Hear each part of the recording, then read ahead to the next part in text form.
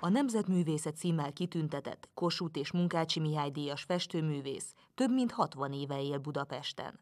Keserű Ilona az ötödik kerületet választotta otthonának, de a belváros szívében, a Ferenciek terén talált rá a festményei raktárhelységére, amelyet műhelyként is használ.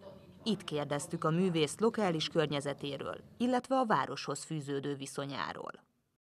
Nekem a belvárosban, és most ez furcsa hangzik, de ilyen jó falusi ismerős közeg. Szóval mindent ismer az ember, összes boltot, ha változik, azt is, majd, hogy nem látásból az embereket, a házbeliek már úgy viccelgetnek egymásnak, vagy köszönnek. Én 17 éves koromban jöttem Pestre, az, az 1950-et jelent. És akkor jöttek a tanulmányidők, a Török Pál utca, itt van előttük. Belátok most a Károlyi Palotára, itt kinézek az ablakon, ahol régen például, amikor én gimnazista voltam, ami kicsit odébb volt helyileg, itt volt a modern magyar képtár. Tehát mi ide jártunk a Törökpál utcából, a haverokkal ide jártunk képeket nézni szünetekben, meg délutánonként. Ezt az épületet például nagyon szeretem. Meg hogy ott lakott szembe, legfelső a Vas István és a Szántó Piroska. Nem, nem is a házak tetszenek az embernek, hanem a házak azzal együtt, amit magukba foglalnak. Ez, ami itt van, ezt nagyon szeretem az épületekkel együtt. Látható a Ferenciek eh, tornya, ami, és, a, és egy kis timpanon homlokzata, ami teljesen olyan, mint a Rómában, bárhol kinézek az ablakon, és látok legalább egy faragott tornyot, kőtornyot, és, és egy timpanont a közelben. Tehát eh, nagyon jó dolgokat érzékelek állandóan.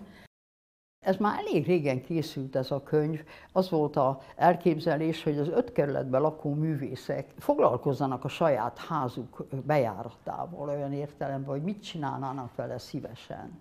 És erről készül egy, egy két kép, az egyik, hogy hogy néz ki ez a kapu valójában, és mi lenne vele, ha a művész kapna erre lehetőséget. És akkor én megcsináltam ezt a vázlatot, kollást, összevágva egyéb munkáimból, szitanyomatokból, vaskarcokból, és ez van benne a könyvben. Fönn a második emeleten volt a festőosztály, tehát a sarokterem második emeleten, és hát ez, ez azt jelentette, hogy minden nap egész délelőtt ott voltunk, és csináltuk a festészeti feladat, soron következő feladatokat, érettségi előtt két évet jártam ide, különbözetével vettek föl, és hát fantasztikus volt, mert, mert itt voltam Budapesten, a pályán el voltam indítva, és minden az ember számára felfedezhetővé vált.